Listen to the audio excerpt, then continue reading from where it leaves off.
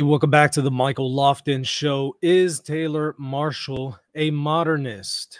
I am going to cover a modernist tactic used by Taylor Marshall and others.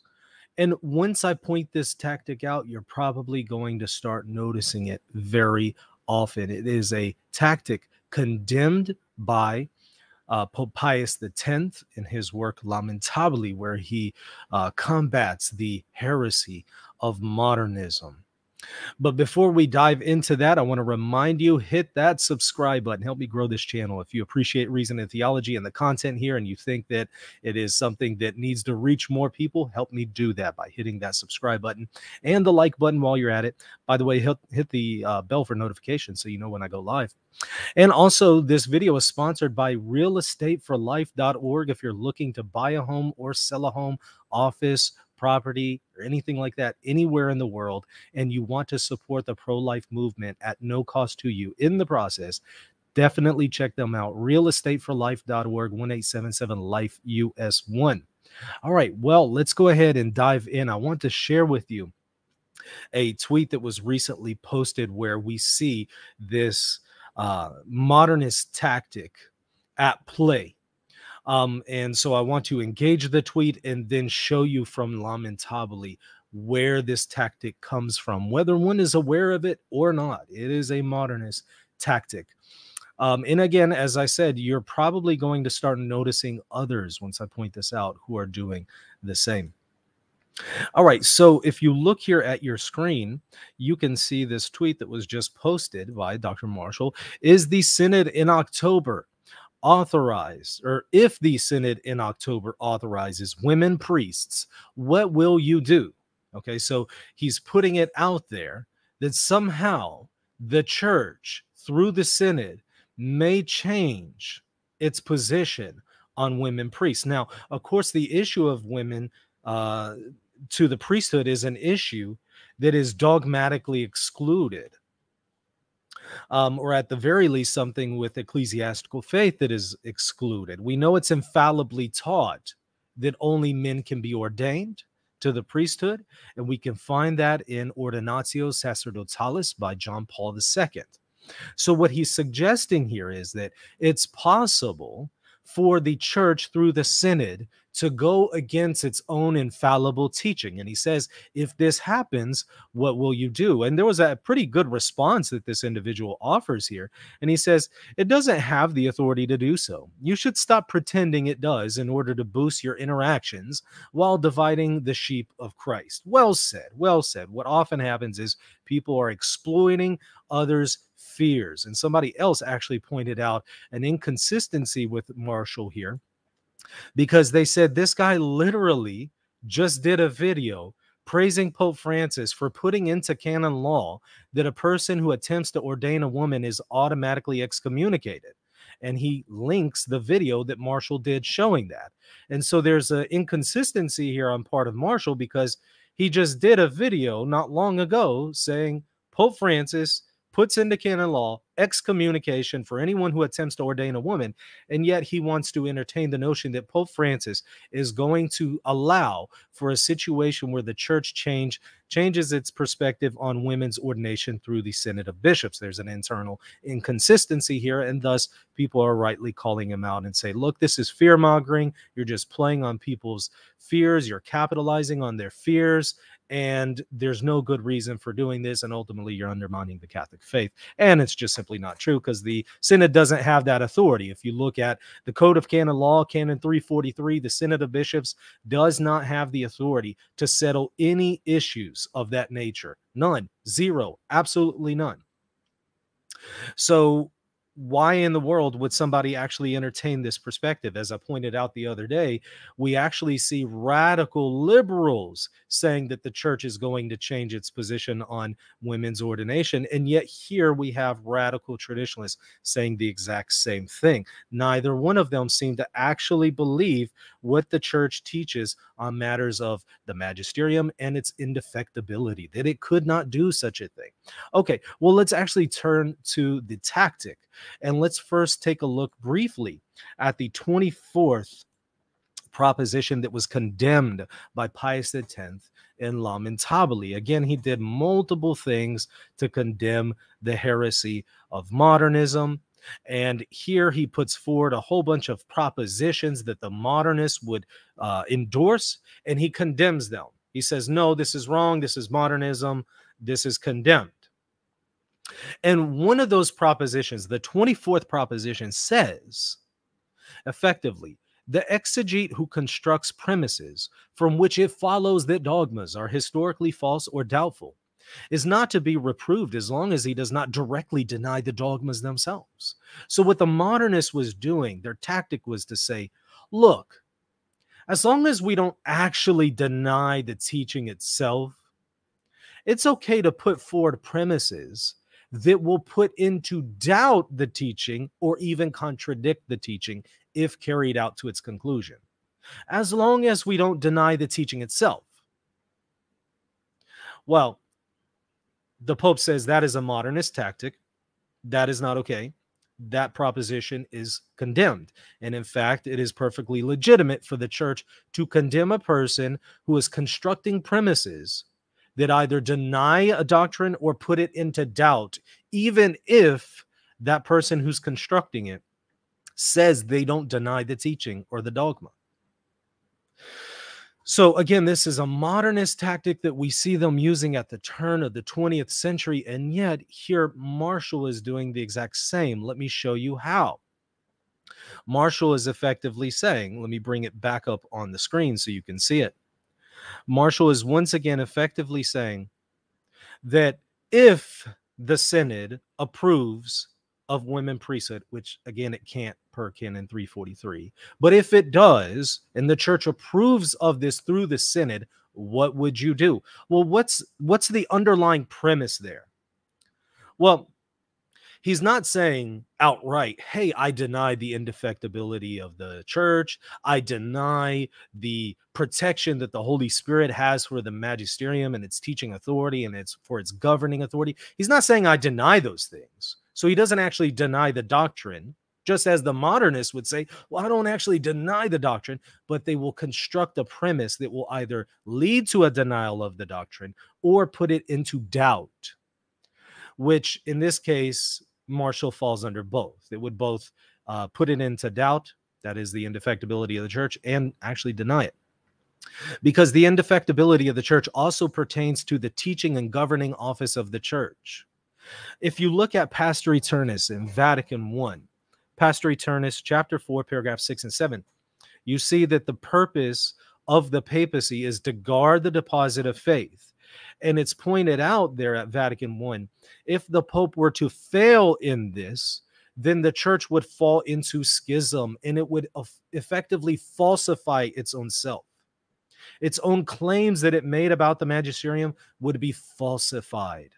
The very purpose of the Catholic Church is to present, prevent such a case, to prevent a case where the Pope would then authorize something that is contrary to an infallible teaching. The whole purpose of the papacy is to prevent that.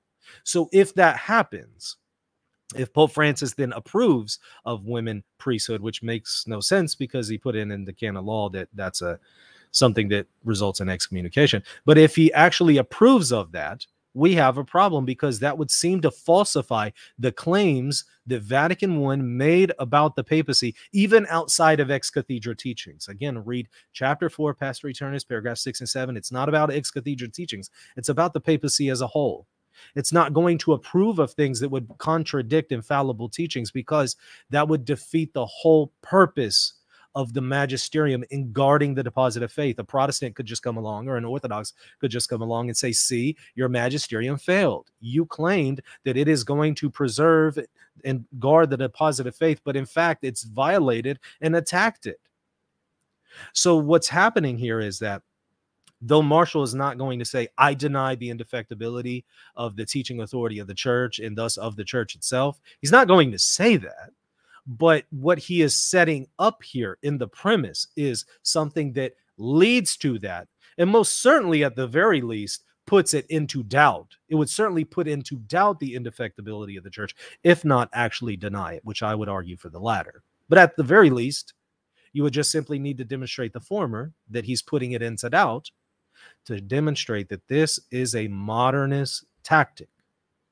Now, once you become aware of this, start paying attention to what people say.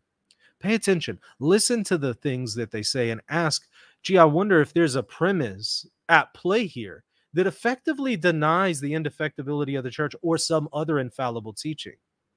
And what you'll see often at play is that person has lost the faith. They don't hold to the faith. They've lost it. And thus, you can see in their premises, they embrace things that no longer are consistent with the faith. And they'll suggest things like this What would you do if the Pope taught something ex cathedra that's heretical? Well, wait, why are you asking this question? The premise assumes something that would actually end up denying the indefectibility of the teaching office of the church by asking that question you're revealing that you no longer have the theological virtue of faith you no longer believe in the indefectibility of the church and i see it constantly what will you do if the church allows for um, homosexuality and says it's no longer a sin a person who asks that question you have to ask do you really believe in the indefectibility of the church? Do you really have faith? It sounds to me like you don't, because underlying that premise is a denial of the indefectibility of the church and the protection of the Holy Spirit over the magisterium. There's a denial there. So it very well could be that unless a person is just seriously mistaken and just inconsistent, it very well could be a sign that the person no longer actually believes the Catholic faith in a particular area. They no longer have that virtue, that theological virtue of faith. And what happens then is they end up aiding the enemies of the church, whether they realize it or not, because by asking these kinds of questions, if the Synod in October authorizes women priests, what will you do? How is that not an argument in favor of Protestantism and Orthodox? it, the Orthodox and Protestants would just come along and say, look, your church now approves of this. Or you think that your church would approve of this. How do you really have confidence in its indefectibility? If your church can do such a thing, why would I ever be in communion with it? And why would I ever believe what your church, church teaches about the papacy and about the indefectibility of the church? And they're rightly going to point out those inconsistencies. And so what takes place here is a person ends up being a great evangelizer for Protestantism and Eastern Orthodoxy, whether they realize it or not. Unfortunately, many Catholics are doing this. It's not just Taylor and Marshall. We're constantly doing this in our premises, and it's a modernist tactic that we need to stop doing when we need to start exercising the theological virtue of faith and say, you know what, I don't believe that that's possible because I do believe that there's a general protection of the Holy Spirit that would not allow the church to go against its infallible teachings in such a way. I hope this was helpful to y'all in pointing this out. I want y'all to start noticing it in others. So please do so. If you want to learn more about the synod on synodality and, and the question of women's ordination, I did a whole video already on this. I recommend that you take a look at it go ahead and click on it. I'll put a link to it in the show notes. Watch it. I go over the Synod of Bishops extensively in canon law, what it is, what it can and cannot do. And then I consider the question of women's ordination to the priesthood. Is it still open in Catholicism? Sneak peek. Hint, the answer is no. It is infallibly taught that men only can be priests. And you'll see that in Ordinatio Sacerdotalis, where I go over where the Pope taught that infallibly. And you can see that as I walk you through the text. So certainly go and check that out. Also, hit that subscribe button if you're enjoying Reason and Theology. You feel like this is great content that people need to see. I need you to do your part by helping me uh, reach YouTube and its algorithm by reaching more people. And that and thus what you'll need to do is hit that subscribe button, hit the like button, comment, interact with the video. The more you do that, the more YouTube's algorithm will kick in and reach more people who haven't heard maybe these answers and haven't considered some of these things and perhaps are confused about the upcoming synod of bishops and they think that it's actually possible for the church to change these things and they're really worried. Well, they need to be reached with um, some content that will give them some guidance. I certainly attempt to offer that here at Reason and Theology. Help me do that though by hitting that subscribe button. Also, check me out, patreon.com forward slash reason and theology if you want to support what I'm doing here and get access to extra content. You'll also see a link to the GoFundMe and a PayPal there in the show notes if you want to support me. This is how I provide for my family. A lot of people don't like what I'm saying. They've just canceled me. They don't want to support me. They've unsubscribed. I need your help if you want me to continue to do this as the way that I provide for my family and help others here on YouTube. Well, I need you to do your part. Consider supporting me prayerfully here at Reason and Theology. And if you can't do that financially, at the very least, pray for me and what we're doing here at RNT. Okay, I'll see you later. God bless. Are you confused about how Catholic teaching authority works? With encyclicals, papal bulls, councils, and many other things, it's easy to get confused on what is authoritative and what is not. Fortunately, at MaximusInstitute.com, I have prepared a course explaining the magisterium from A to Z. Visit the website and check out the course Understanding the Magisterium for more information.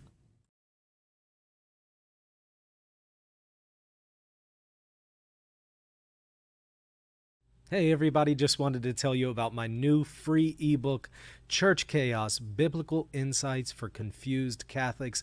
If you are a confused Catholic and you're thinking about leaving the Catholic Church, or you're thinking about converting to the church, but you see that there's a crisis in the church and you're just unsure, this is the book for you. Again, it is free. Just simply go to reasonandtheology.com.